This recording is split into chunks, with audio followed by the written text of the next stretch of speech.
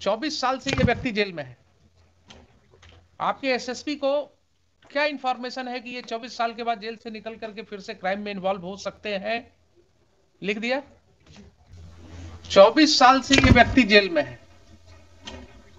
आपके एसएसपी को क्या इंफॉर्मेशन है कि ये 24 साल के बाद जेल से निकल करके फिर से क्राइम में इन्वॉल्व हो सकते हैं? लिख दिया।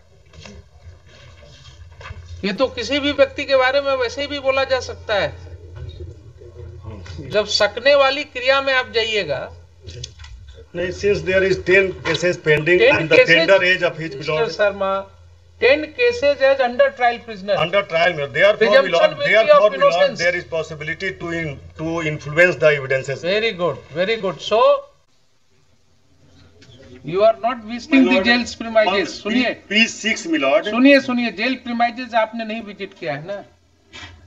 We are visiting the jail premises only two days back I have visited the central jail this Khudiram Bose central jail at Muzaffarpur two days back only. And my observation was that even the convicts who were facing life imprisonments, they were behaving so cordially and in a disciplined manner. जितने discipline के साथ वो वहाँ थे जितनी समझदारी से वो कॉर्डियली इंटरेक्ट कर रहे थे मेरे से वो यही दिखाता था कि they are also member of the civilize society they must have fallen prey to the circumstances और सुनिए, उसमें हमने देखा तेईस जुवेनाइल्स रिपोर्ट हुए जेल में, जिनका केसेस मैं एग्जामिन करवा रहा हूँ अभी एंड एक बच्चे ने ये कंप्लेंट किया कि साहब how after arresting me I have been brutally assaulted. And उसका फोटोग्राफ्स मैंने निकलवाया जेल सुप्रिंटेंडेंट से। Then his complaint was lost. All these happened in presence of the ssp and jail superintendent. दो दिन पहले की घटना आपको बता रहा हूँ। तो आप जितनी आसानी से क्रिमिनल समझ लेते हैं इन लोगों को हुजूर प्रभु जी अगर नहीं सुने इनका ऑफिसर तो प्रधान राष्ट्रपति का भाषण सुना होगा ना। जेल का कंडीशन कहा था राष्ट्रपति ने अभी एक वीक पहले। जी। ऑफिसर सुने होंगे नहीं नहीं सुने। सकते हैं। आपको बहुत सी बातें जो हैं वो डिफिकल्टी हो रही है मुझे भी बोलने में on camera because it will go to the people domain जो स्थिति हमने देखा ये सब कहने की बात हो रही है ह्यूमन राइट्स और बेसिक ह्यूमन राइट्स और सारा कुछ। ये सब जो ऊपर वाले लोग हैं ना इन्हीं के लिए हम ही लोगों के लिए है। ये सब राइट्स जो दबा कुचला हुआ व्यक्ति है उसके ह्यूमन राइट्स की परवाह जो है बहुत मुश्किल हो रही है। ऑन स्पॉट जब जाइएगा जाइए जरा घूम करके देखिए कभी। क्या स्थिति में लोग रह रहे हैं? क्या इन ह्यूमन कंडीशन है?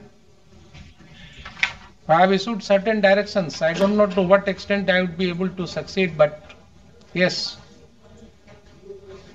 If my lord has seen the juveniles with the adults in the jail, my lord cannot imagine the exploitation साहब Of the juveniles. अंदर कैन यू थिंक ऑफ़ हम लोग रोज इतने सेमिनार्स करते हैं और रोज इतनी बातें होती हैं जेल के अंदर there is a juvenile ward how there can be a juvenile ward inside the jail premises without any sanction of law.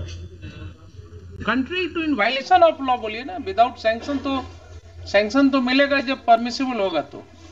It is in violation of law that a juvenile ward is existing inside the jail premises. They can be only kept in remand homes.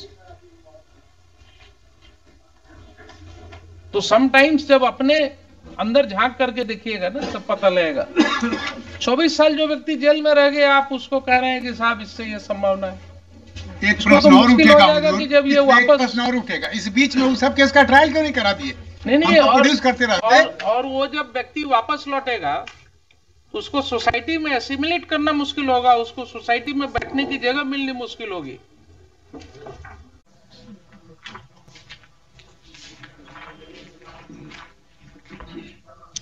और ये बहुत बहुत सी किताबें हैं इसको research when the prisoners come home when the prisoners come home एक book ही है। काफ़ी दर्दनाक कहानियाँ आपको उसमें मिलेंगी। कि जब वो लौटते हैं प्रिजन के बाद इतने साल की सजा भोग करके देर आफ्टर उनको क्या क्या फेस करना होता है अपनी ही सोसाइटी में? इसलिए अपने ऑफिसर्स को कहिए थोड़ा दया दिखाने की ज़रूरत नहीं है लेकिन कानून के ऊपर जो है अपने आप को मत रखें। इस तरह का अनमाइंडफुल लेटर जाएगा और उस पर रेमिशन बोर्ड के सद, कितने सदस्य होते हैं उसमें? उसमें हजूर छह सदस्य हैं छह सदस्य हैं। होम सेक्रेटरी हैं लॉ ये सारे सेक्रेटरी होम हैं सेक्रेटरी एंड अदर सदस्य जो हैं हैं। इनको इनको अपनी दिमाग लगाने की ज़रूरत नहीं है क्या? किन्हीं एक को हुजूर ने आज बुलाया था? सब लोग सब लोग बड़े ही हैं हो मतलब ये होम सेक्रेटरी हैं लॉ सेक्रेटरी हैं डिस्ट्रिक्ट एंड सेशन जज पटना है। सब दस्खती करने वाले। हैं है आईजी प्रिजन है और सबको अपने परवाह है। सब बड़े लोग हैं बड़े लोग हैं दस्खत करने की ज़रूरत है सिर्फ़। अदरवाइज़ अगर इतना माइंड लगा लिए होते इसमें और एक बार पढ़ लिए होते दस मिनट ठहर करके तो आदमी रिलीज़ हो गया होता।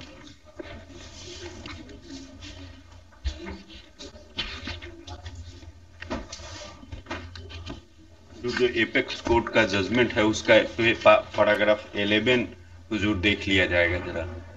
उसमें देखिए जजमेंट जजमेंट श्री हरन बाद में ज़रूरत पड़ती है। केस के पहले तो रेफरेंस फैक्ट्स हुआ था पर अपना माइंड अप्लाई कीजिए ना। जी जी।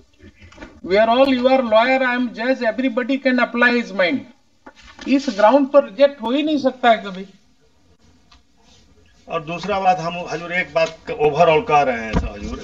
कि आजकल कोई भी पिटीशन में सब्जेक्ट टू सम एक्सेप्शन इतना पिटीशन है। किसी में ना तो ट्रायल कोर्ट का जजमेंट लगाते हैं लोग ना तो अपीलेट कोर्ट का लगाते हैं। कुछ पता ही नहीं चलता है कि एलिगेशन क्या है माइनर ऑफ़ जो क्राइम क्या है ट्रायल मैनर ऑफ़ इस साल क्या है। हुआ जेल में जो आदमी रह रहा है उसके परिवार को पता तक नहीं रहता है कि लेकिन है। के केस में हजूर हम पहले पहले हर एक जेल में सुनिए, हजूर जजमेंट लगाया जाता था। Unless and my lord the minor of minor of crime my lord आप and minor इनकी of बात नहीं सुन रहे हैं। जी हजूर। आप बोल रहे हैं बहुत अच्छा लग रहा है। जी हजूर। लेकिन मेरा अनुभव जो है वो इनको सपोर्ट कर रहा है। हजूर एक आपको अपना जेल अनुभव बताएँ मुझे जेल में ऐसी औरतें मिली महिलाएँ मिली। जी हजूर। जिन्होंने रोते हुए कहा कि साहब मेरे घर से कोई देखने अब हमको नहीं आता है। हमको कोई मिलने नहीं आता है। और हमको भी मालूम नहीं है कि हमारा केस क्या है कहाँ है किस हालत में। हुजूर के यहाँ एक लेकिन वो भी है, हजूर हुजूर भूटन पासवान। आपके पास आए तो कोई ना कोई तो करेंगे। होगा। ना हजूर। ये आप आप हुजूर प्रभु जी के लिए। मुझे सम्मान है रेमिशन बोर्ड में अगर जजमेंट नहीं रहता है कन्विक्शन का तो ये दफ़ा कैसे लिख देते हैं?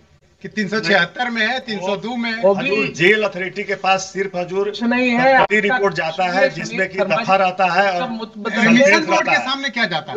क्लर्क्स जाएगा ना your judgment clerks and kirani jar your clerks and kirani jar recording all these things and your babus are just putting their signature. Video को लाइक कीजिए शेयर कीजिए चैनल को सब्सक्राइब कीजिए साथ ही बेल आइकॉन दबा दीजिए। Thank you.